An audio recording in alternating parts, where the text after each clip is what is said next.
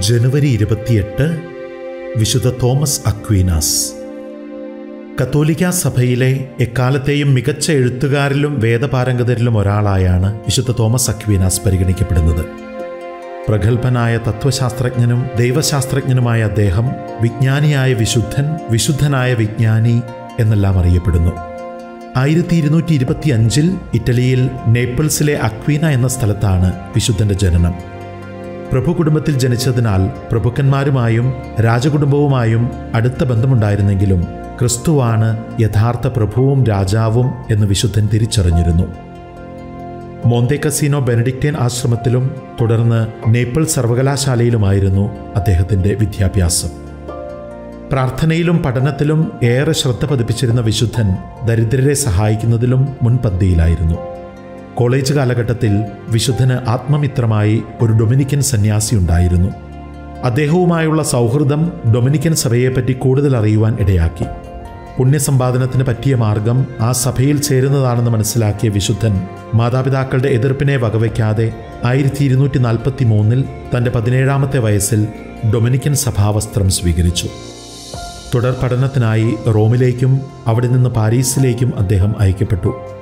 എന്നാൽ പാരീസിലേക്കുള്ള യാത്രാമധ്യേ വിശുദ്ധന്റെ വീട്ടുകാർ അദ്ദേഹത്തെ ബലമായി പിടിച്ചുകൊണ്ടുപോയി വീട്ടുതടങ്കലിലാക്കി. ഇത് തോമസിന്റെ വിശ്വാസത്തെ ശക്തിപ്പെടുത്തുക മാത്രമാണ് ചെയ്തത്. തടവറയിൽ യേശുവുമായി പ്രാർത്ഥനയിലൂടെ ഒന്നാകുവാൻ അദ്ദേഹത്തിന് കഴിഞ്ഞു. തോമസ് അക്വീനാസിന്റെ ദൈവിക ചിന്തകൾക്ക് ഭംഗം വരുത്തുവാൻ മാതാപിതാക്കൾ അതീവ സുന്ദരിയായ ഒരു സ്ത്രീയെ അദ്ദേഹത്തിന്റെ മുറിയിലേക്ക് അയച്ചു. എന്നാൽ ആ പ്രലോഭനത്തെയും അദ്ദേഹം അതിജീവിച്ചു. അവസാനം അദ്ദേഹത്തിന്റെ മനസ്സ് മാറില്ലെന്ന് കണ്ട് അവർ അദ്ദേഹത്തെ സ്വതന്ത്രനാക്കി. തുടർന്ന് അദ്ദേഹം പാരീസിലേക്കും പിന്നീട് കൊളോണിലേക്കും പോയി. വിശുദ്ധ ആൽബർട്ടിന്റെ ആശ്രമത്തിൽ ചേർന്ന് അദ്ദേഹത്തിന്റെ ശിഷ്യനായി മാറിയ തോമസ് അക്വീനാസ് ആയിരത്തി ഇരുന്നൂറ്റി അൻപതിൽ പൗരോഹിത്യം സ്വീകരിച്ചു. വൈദികനായി ദൈവശാസ്ത്രത്തിൽ ഡോക്ടറേറ്റ് നേടിയ ശേഷം അദ്ദേഹം പാരീസ് സർവകലാശാലയിൽ അധ്യാപനം ആരംഭിച്ചു. പിന്നീട് ഇറ്റലിയിലെ വിവിധ നഗരങ്ങളിൽ അദ്ദേഹം അധ്യാപന ശുശ്രൂഷ ചെയ്തു. കത്തോലിക്ക സഭയ്ക്ക് അദ്ദേഹം നൽകിയ ഏറ്റവും വലിയ സംഭാവന അദ്ദേഹത്തിന്റെ രചനകളാണ്. വെറും നാൽപ്പത്തി ഒൻപത് വർഷത്തെ ജീവിതത്തിനിടയിൽ അറുപതോളം വിശിഷ്ട കൃതികൾ അദ്ദേഹം രചിച്ചു. അതിൽ എക്കാലത്തെയും പ്രധാന കൃതിയായ സുമാ തിയോളജിക്ക കത്തോലിക്ക ദൈവശാസ്ത്രത്തിന്റെ എൻസൈക്ലോപീഡിയയാണ്. അദ്ദേഹത്തിന്റെ അവസാനത്തേതും നിർഭാഗ്യവശാൽ പൂർത്തിയാകാത്തതുമായ കൃതിയായിരുന്നു അത്. ആയിരത്തി ഇരുന്നൂറ്റി എഴുപത്തി മൂന്ന് ഡിസംബർ ആറിന് കുർബാനയ്ക്ക് ശേഷം അതിന്റെ രചന അദ്ദേഹം അവസാനിപ്പിച്ചു. എന്തുകൊണ്ടാണ് അദ്ദേഹം എഴുത്തു നിർത്തിയതെന്ന് ചോദിച്ചപ്പോൾ അദ്ദേഹം മറുപടി പറഞ്ഞു എനിക്ക് തുടരാൻ കഴിഞ്ഞില്ല.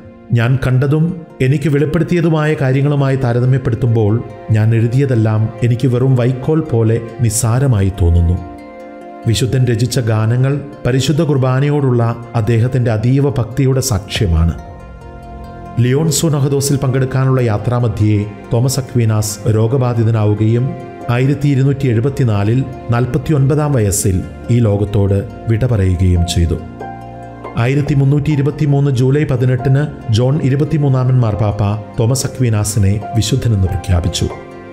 ആയിരത്തി അഞ്ഞൂറ്റി അറുപത്തിയേഴ് ഏപ്രിൽ പതിനൊന്നിന് പിയു സഞ്ചാമൻ മാർപ്പാപ്പ അദ്ദേഹത്തെ വേദപാരംഗതൻ എന്ന പദവിയിലേക്ക് ഉയർത്തി. എല്ലാ കത്തോലിക്ക സർവകലാശാലകളുടെയും വിദ്യാഭ്യാസ സ്ഥാപനങ്ങളുടെയും പ്രത്യേക മധ്യസ്ഥനായും വിശുദ്ധ തോമസ് അക്വീനാസിനെ സഭ വണങ്ങുന്നു.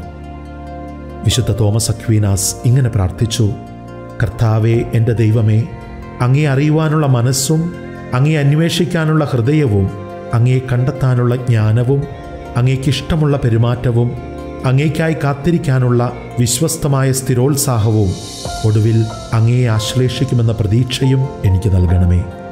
ഇത് നമ്മുടെയും പ്രാർത്ഥനയാക്കി നമുക്ക് മാറ്റാം. വിശുദ്ധന്റെ മധ്യസ്ഥം നമുക്ക് അപേക്ഷിക്കാം. വിശുദ്ധരായ സകലരുമേ. സ്വർഗനിവാസികൾ സകല